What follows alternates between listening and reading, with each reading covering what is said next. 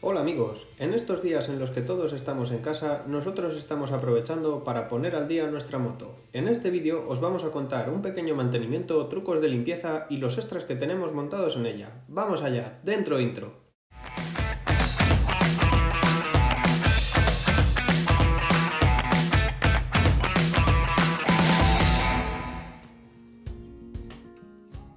Primero de todo, vamos a enseñaros los productos con los que cuidamos y mantenemos nuestros vehículos. Tenemos de muchos tipos, pero principalmente los que utilizamos son los de la marca QM Cleaner.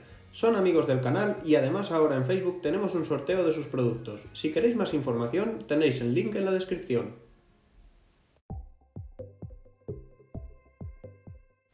Empecemos preparando el jabón multisuperficies con el que vamos a limpiar todos los plásticos de la moto.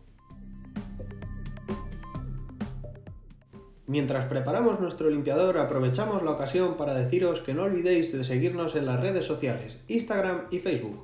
También podéis haceros miembros de nuestro grupo de Facebook, donde todos los días repasamos lo relacionado con el mundo de la moto. Somos como una familia. Y si no habéis visto nuestros últimos vídeos de ruta, hacer clic en el enlace superior. Este limpiador nos gusta mucho, podéis aplicarlo en el coche, en la moto, en interiores, en exteriores, no ataca ninguna superficie, es muy versátil.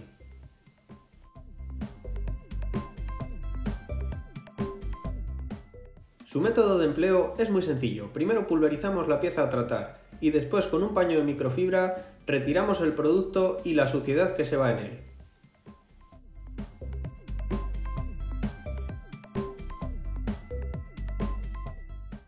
Como veis, podéis limpiar sin miedo todas las superficies, incluso las que tienen pegatinas, no hay ningún problema, no daña ningún material.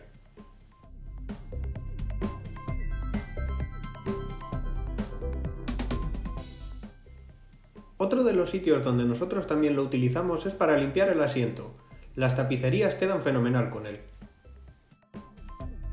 Si os está gustando este vídeo, no olvidéis dar a like, comentar y suscribiros y dejarnos en comentario vuestros truquillos de limpieza. Vamos ahora con la limpieza del casco. Para esos días en los que los mosquitos nos llenan la pantalla de suciedad y llegamos a casa con el casco como que fuera viejo, nosotros utilizamos el limpiador de cascos de QM Cleaner. Solo tienes que pulverizar la superficie y pasar un trapo y verás como tu casco queda como el primer día.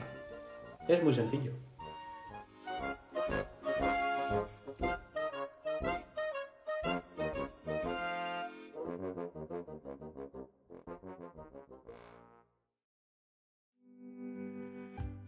Vamos ahora con el cuidado y mantenimiento de nuestros neumáticos, eso que nos hace agarrarnos a la carretera. Primero comprobaremos el dibujo para comprobar que los neumáticos están en buen estado.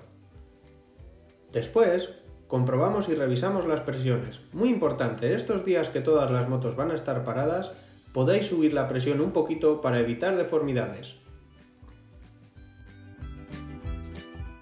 Continuemos con el mantenimiento de la cadena. Vamos a explicaros cómo lo hacemos nosotros. Primero limpiamos con W40, o lo que algunos llamáis el 3 en 1 de toda la vida.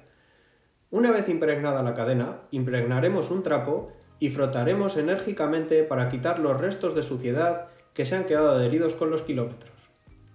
Como veis, la cadena queda como nueva. Esto es un tema de discusión entre muchos moteros, unos utilizan unos materiales, otros utilizan otros, pero a nosotros nos gusta este. Además, aprovechamos para comprobar la tensión de la cadena. Después, engrasamos y ya tenemos lista la cadena. Otro punto muy importante, y más cuando vamos a tener las motos paradas unos días, es el mantenimiento de la batería. Tenéis varias opciones. Nosotros os decimos la siguiente. Si no tenéis un cargador de batería, desconectar la batería los días que no la vayáis a utilizar. Y en el caso de tenerle, este es el que utilizamos nosotros. Con una pequeña instalación en la moto es muy fácil de mantener. Conectas y tienes siempre la batería en estado óptimo. Siguiendo con nuestra revisión de la moto, también os aconsejamos que reviséis periódicamente el nivel de aceite, el nivel de anticongelante y el nivel de líquido de frenos, tanto del freno delantero como del freno trasero. Es muy importante amigos, a veces se nos olvidan estas cosas y luego lo lamentamos. Es turno ahora de nuestras llantas. Para limpiarlas utilizaremos el limpiallantas de QM Cleaner. Primero pulverizamos el producto, después pasamos un trapo para eliminar la suciedad más adherida y seguidamente lo rociamos muy bien con agua para aclarar toda la llanta. Y ya está amigos, esas llantas que parecen viejas se convierten en llantas nuevas. Repetiremos el proceso tanto en la delantera como en la trasera, y ya luciremos nuestras llantas nuevas. También podéis aprovechar esta operación para limpiar vuestros neumáticos, no lo olvidéis. Bueno, y a petición de algunos de vosotros que nos habéis preguntado qué accesorios son los imprescindibles y cuáles son los que montamos en nuestra moto, os enseñamos los nuestros.